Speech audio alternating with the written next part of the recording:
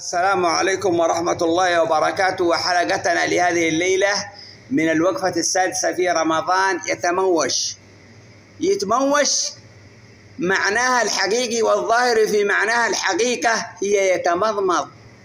والتمضمض هو تحريك الماء في الفم بقوة أو على خفة. ومعنى يتموش في المصطلح الجيزاني هي يتمضمض. وهذه ينطقها العوام من الناس والرجال الكبار السن الذين لم يتعلموا المسائل الفقهية أو كلمة يتمضمض.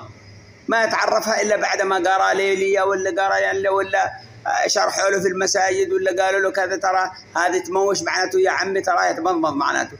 وأحيانا ما قد يسأل شيخ ويقول له أنا يا فلان تموشت كثير. ودخل في جوفي أو دخل في بطني ماء هل صيامي صحيح ولا فسد؟ أنا تراني يعني في قلق أنا خايف يومي راح علي. أنا هذا يجوز ويصح اكمال صومك. ولا فيه ولا أي حاجة لأنه ليس باختيارك.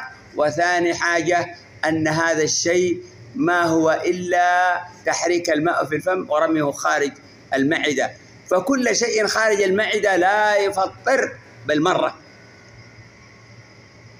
إلا الجماع. الجماع أيضا هذا من الكفارات المغلظة عليه.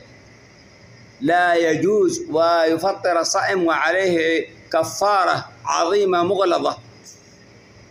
فلهذا النساء تقول أنا موشت راسي بشوب أو بفكس أو بعملت أي حاجة هذا لا يفطر. كل شيء خارج المعدة قلنا لا يفطر. لا يفطر إلا ما كان داخل المعدة من الأكل والشرب والجماع. والإبر المغذية وغيرها. فلهذا نطمئن الجميع الذين لا يعرفون في مثل هذه المسائل أن حتى الماء الذي تستحم به أو الكحل أو أي شيء خارج أو فلس أو بخاخ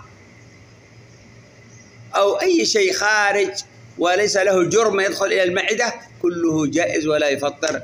وأسأل الله أن يتقبل منا ومنكم صالح الأعمال.